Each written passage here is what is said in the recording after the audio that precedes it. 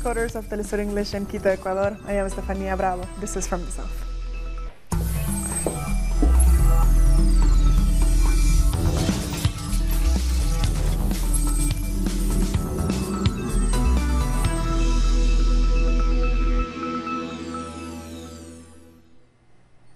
In Venezuela, the Angostura 2019 military exercises have begun. They mark 200 years since the Congress of Angostura convened by Simón Bolívar during the wars of independence of Colombia and Venezuela. They aim to test the operational and technical capabilities of the Bolivarian National Armed Forces. These exercises will be held until February 15th and involve more than 2 million military and militia troops. They're being supervised by President and Commander-in-Chief of the Armed Forces, Nicolás Maduro.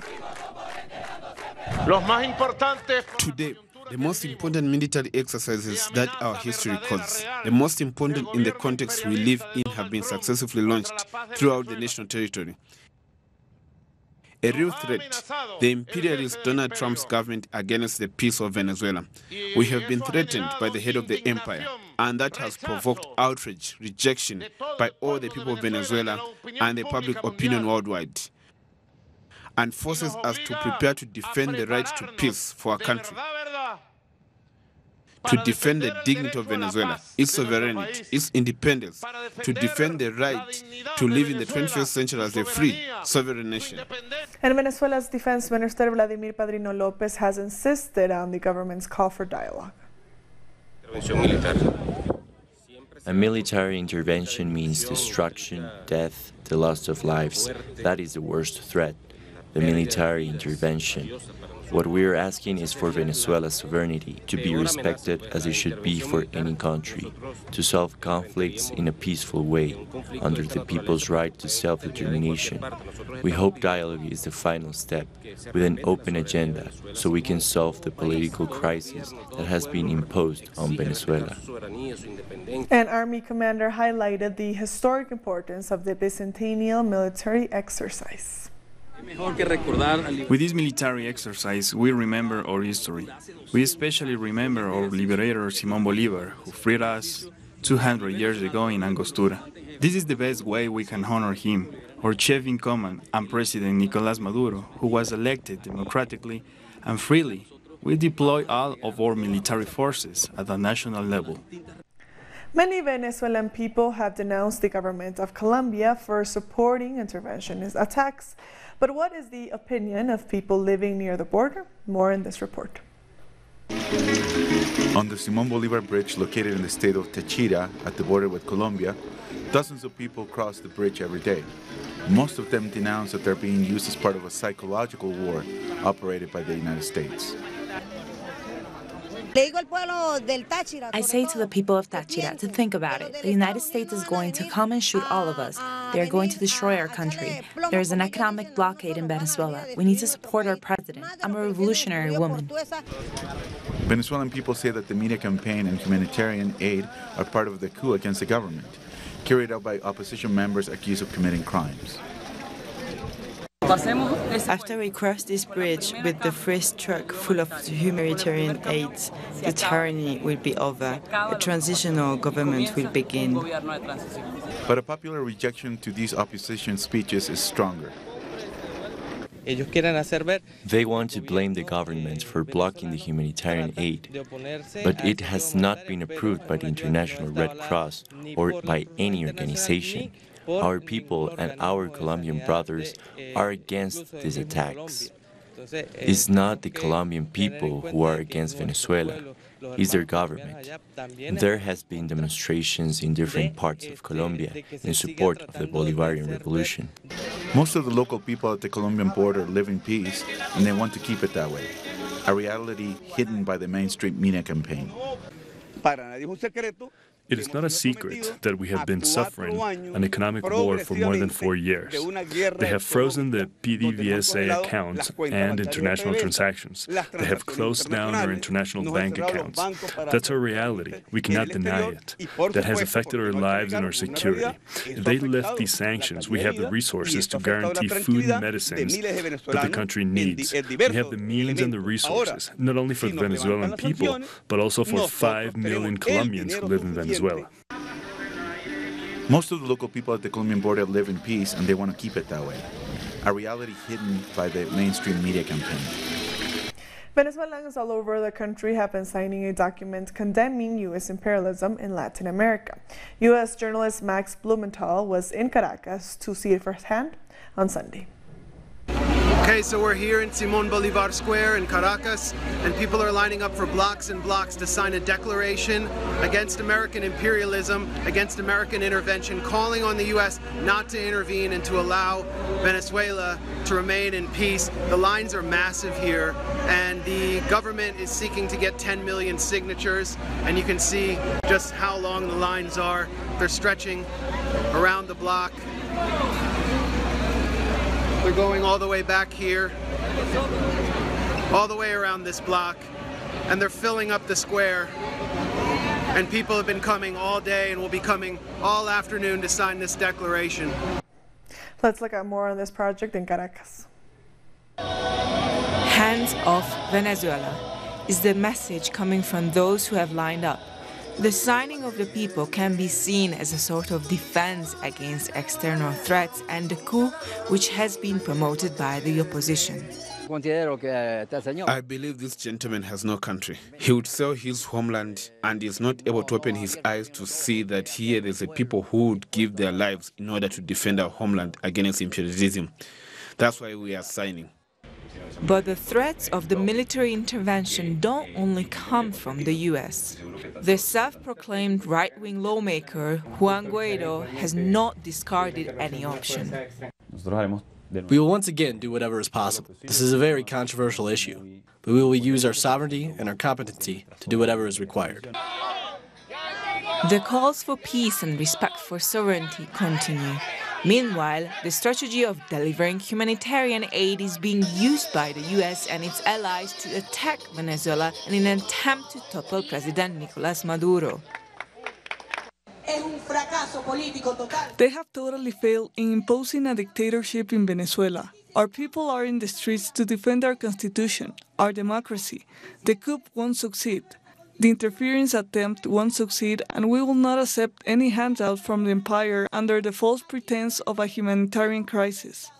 The policy promoted by Washington is not new. It's been promoting an economic war against Venezuela for years. In the last two or three years, they have stolen more than $60 billion, and now they are supposedly bringing humanitarian aid. This is just a Trojan horse or supposed humanitarian aid. What we say is hands off Venezuela and stop the economic crimes and the economic blockade against Venezuela. Many think that it is ironic that the White House promises aid worth $20 million for Venezuela, while at the same time blocking Venezuelan assets worth over $20 billion. And Russia plans to present a proposal to the UN Security Council in hopes of resolving the situation in Venezuela. Russia's proposal is in response to the US's call for new elections. It calls for a peaceful solution and a political settlement that includes the mechanism developed in Montevideo last week. The Southern African Development Community has expressed solidarity with Venezuela and condemned attempts by some countries to interfere in its internal affairs. In a statement, the chairperson of the SADC, President of Namibia Hage Geingob, emphasized the need to respect the democratically elected government led by President Nicolas Maduro. He adds that supporting the self-proclamation of Juan Guaido as interim president is supporting a coup. A crowd of people gathered in protest outside of the U.S. Embassy in South Africa against the government's support for a coup in Venezuela. The protesters are from different political workers and social movements, including the ruling African National Congress and its alliance partner, the South African Communist Party. They are demanding an immediate end to the undermining of Venezuela's sovereignty. This follows pickets which were held on Friday at the U.S. consulates in Johannesburg and Cape Town. The African Union Summit continues in Ethiopia's capital, Addis Ababa. Our correspondent Matuba Mahlatjie has the details. UN Secretary General Antonio Guterres was among leaders attending the African Union 32nd Ordinary Session, and he's optimistic that conflicts around the continent will be resolved. And the UN would be willing to support governments in reducing or even eradicating unrest chaotic scenes that we've seen over the recent past. The UN chief also gave a press briefing in Addis Ababa saying Africa should not only be seen as a continent riddled with problems, but he outlined opportunities and potential that Africa has. And he's praised African governments for their solidarity in dealing with migration and opening their borders to refugees especially those displaced by conflicts. And Guterres has highlighted a misconception that more Africans are migrating to European countries. It's in fact quite the opposite. Internal migration of Africans is much higher, and Africans account for about 8% of people migrating to Europe. Now, with Egypt at the helm of the AU, President Al Sisi will hit will have to hit that ground running, rather, in a bid to change perceptions about Africa and certainly change reality of many Africans displaced by conflict. Now, Egypt has until next year to complete its mandate before South Africa takes over as chair. And the mandate will definitely include relations with other countries outside of Africa. Speaking of other countries outside of Africa, Venezuela came into the spotlight uh, at the at the AU summit held in Addis. Um, President Mahmoud Abbas of Palestine telling African leaders there in Ethiopia that he rejected the regime change attempt by the United States. It's back to studio. We'll be back very soon. Stay with us.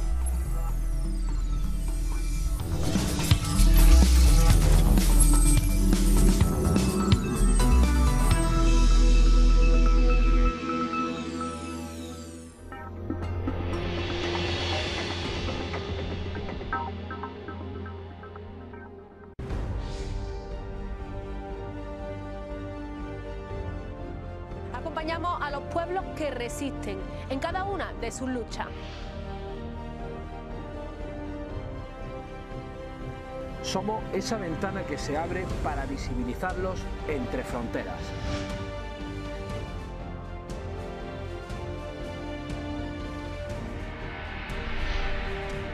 Thursdays, only on Telesur.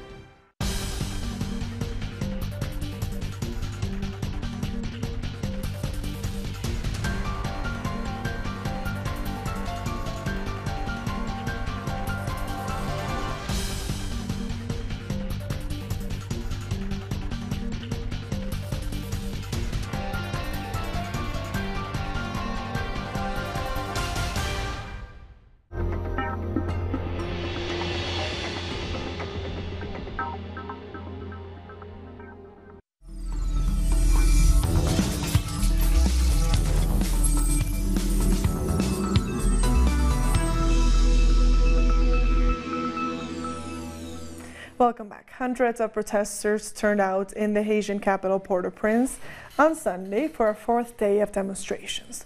They're demanding the resignation of President Jovenel Moise. The protest comes as the international community calls on Haiti's politicians to enter dialogue over the crisis. A 14-year-old boy was killed and another young man was wounded at a protest in central Port-au-Prince on Saturday. Haitians are infuriated over what they say is economic mismanagement.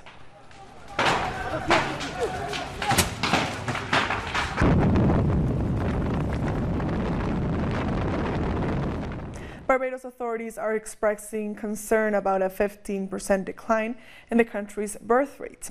In 2007, there were just over 3,000 births, but 10 years later, only 2,000 births were recorded. Acting Chief Medical Officer says the situation is worrying. He said the problem is combined with a fall in the total fertility rate and lack of universal access to contraception. Workers at state owned enterprises in Barbados are being put on notice about more layoffs. This comes as the government works to manage a $718 million wage bill. Prime Minister Mia Mottley says the additional layoffs will start in April. The Prime Minister says it's part of the government's economic restructuring program.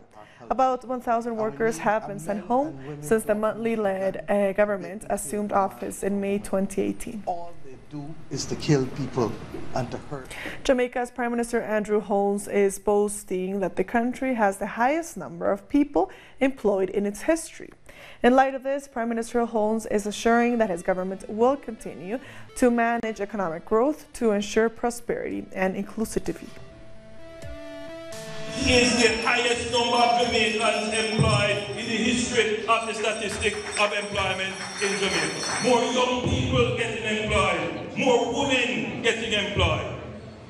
We're not there yet because the frustration is still there. A lot of young people still saying they don't see the prosperity yet. One thing you can be sure of is that if we continue on this path with this government, you will see the prosperity. Moving on, women took to the streets in Costa Rica on Saturday to protest against former President Oscar Arias. They are demanding that he be brought to justice after several cases of sexual misconduct came to light. And now another woman has formally accused Arias of sexual assault. The Nobel Peace Prize winner denies the accusations.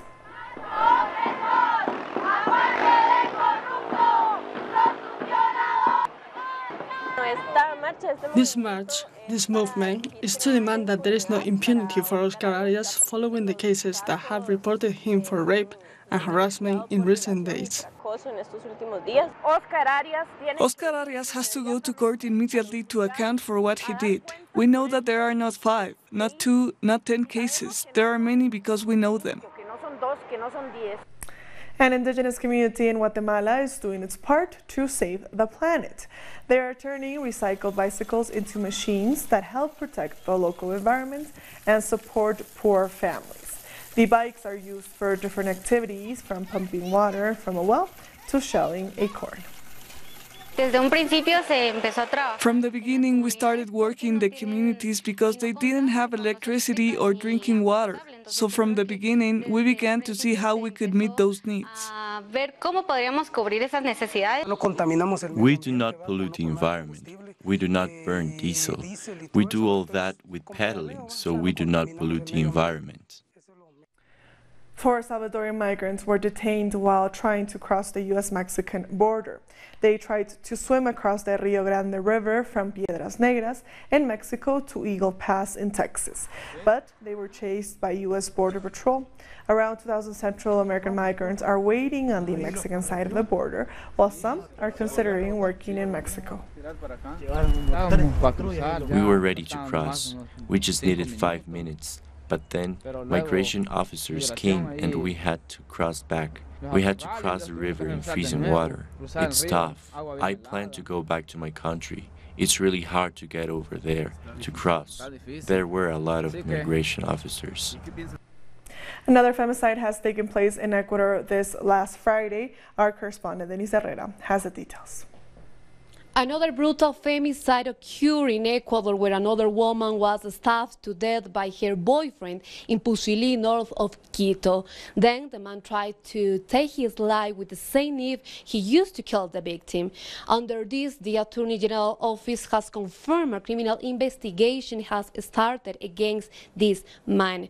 So far, an authority didn't say nothing about this situation, and it's curious that the Interior Minister of Ecuador, Maria Paula Romo, who described herself as a feminist, also didn't say nothing about this situation. So it's not clear how the government is facing these situations. Also, it's important to say in this context that violence against women and girls increases every year in Ecuador, according to the latest report made by women's organizations such as the Ecumenical Commission on Human Rights that has published that 600 femicide have occurred in Ecuador between 2014 and 2018. 2018.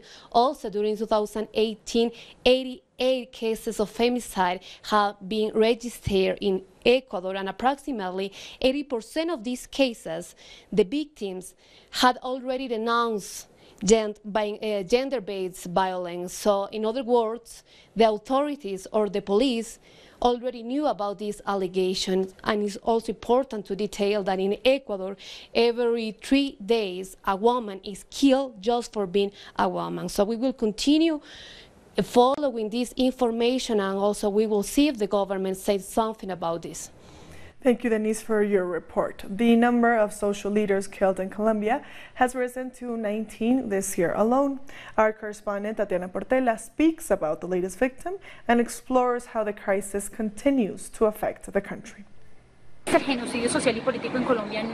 killing of social and political leaders continues in Colombia. Now it's the case of Jose Arquimides Moreno, 34 years of age, who lived in northern Santander. The region has been one of the most strongly hit by violence, and several armed groups are in the area, including the ELN and the EPL. Those who did not comply with the peace agreements, as well as paramilitaries and drug traffickers. Over the weekend, heavily armed men went to his home and shot him several times, resulting in his death. The police department says they are investigating those behind the attack. They've also announced a plan to protect those at high risk. Since President Ivan Duque took office, at least 217 social leaders have been killed, and in 2019 alone, the figure has reached 19. Thank you, Tatiana. After two years of protests, Brazilian unions defeated the pension reform proposed by former President Michel Temer. But now there's a new reform in sight. Let's listen to our correspondent Brian Mier with the details. After two years of street protests, strikes, community meetings, and pressure on lawmakers, the Brazilian unions defeated illegitimate President Michel Temer's pension reform proposal. Now, Finance Minister Paulo Guedes has a new proposal which will cut minimum benefits in half and require 40 years of contribution. In São Bernardo, an industrial suburb of Sao Paulo, ABC Metal Workers Union President Wagner Santana explains what these reforms would mean for Brazilian workers. The Brazilian worker makes pension contributions on average nine months per year. It would take 53 years for them to make 40 effective years of contributions, which removes the possibility of people to retire. In front of an auto plant in São Bernardo, workers express their worries about the new proposal and talk about what needs to be done to stop it. If this goes through, unfortunately, it would lead to discrimination against the elderly. If we are going to unite in the struggle against this, we have to go beyond the factories and bring this debate to society so that everyone can get involved in the important fight against these reforms. Back in the Metallurgical Workers Union headquarters, where Lula began his career, Wagner Santana explains how Brazilian unions and social movements plan to fight these reforms. We are holding a General Assembly of the working class on February 20th here in Sao Paulo, and from there, if necessary, we will call a general strike and paralyze the factories against the pension reforms. We will do it. Brian Mier, Telesur, São Bernardo. A 2,000-year-old mummy has returned to Peru from a museum in Texas. Before making its way to Lima, the mummy was housed at the Corpus Christi Museum of Science and History. According to experts, the mummy was probably a child that belonged to the Collagua culture, the larger Aymara group that lived in the Altiplano region.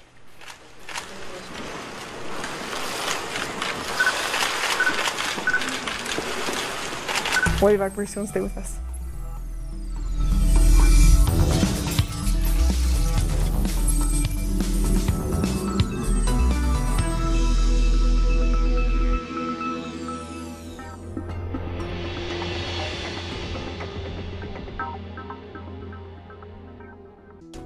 The life is full of moments. Moments of fight.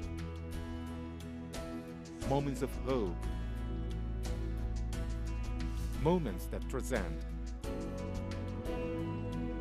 Moments that you can live in. Telesur documentaries. Sundays.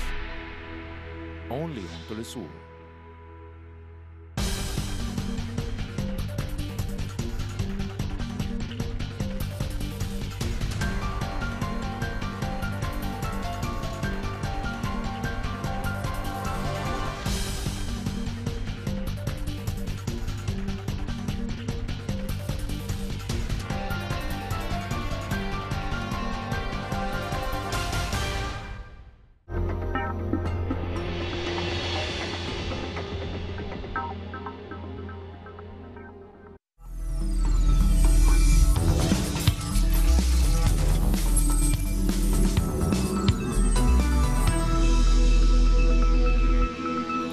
Welcome back, and now let's move to Africa. Speaking on Monday, the African Union's Peace and Security Chief urged member states to tackle the root causes of extremism. At a news conference during the African Union Summit in Addis Ababa, Ethiopia, he decried the spread of terrorism in the Sahel region. He pointed to extremist attacks, inter-ethnic conflict, and clashes between pastoral and agricultural communities, adding to an unprecedented level of violence. So the combination of all these elements uh, brings uh, an unprecedented high level of violence and killings of innocent peoples, destroying their properties in a region that is already uh, relatively poor. Former warring parties in South Sudan are under pressure to unify their armed forces. The peace deal dictated that both sides need to do so before a unity government can be formed. The deadline is just three months away, but there is still a long way to go. The country's president and his major adversary, the former vice president and rebel leader, signed the agreement in September last year. There is a political will to implement the, implement the agreement. So uh, Dr. Riak will come uh, in May and other opposition leaders, they will come. So I'm still very optimistic about this peace agreement. There are challenges, if I told you, the challenge of the funding. Hundreds of thousands of Iranians have poured out onto the streets of Tehran and other cities across the country. They are marking 40 years of the Islamic Revolution. Four decades ago, the country was declared an Islamic republic after the Western-backed government of Shah Mohammad Reza resigned. This followed the surrender of the Iranian army to the revolutionaries.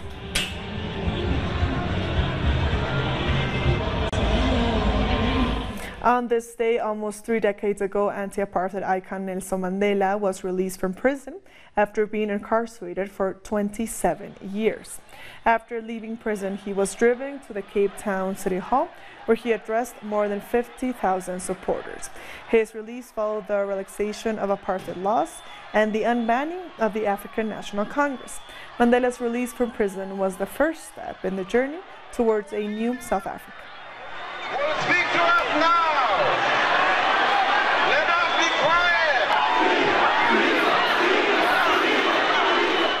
And with that story, we've come to the end of this news brief. These and other stories, as always, find them on our website at telesurenglish.net. And for our viewers in Africa, remember you can find us on StarSat channel 461 in South Africa and channel 539 in Nigeria. We're on social media as well on Facebook, on Twitter, and on Instagram. For Telesur English, I am Stefania Bravo. Thank you for watching.